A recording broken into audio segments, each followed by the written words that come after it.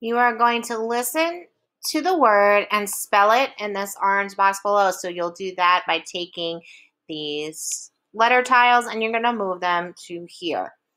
Okay, so the first word I'm going to give you wet. Wet. You can pause here and spell and then play it again for the next word.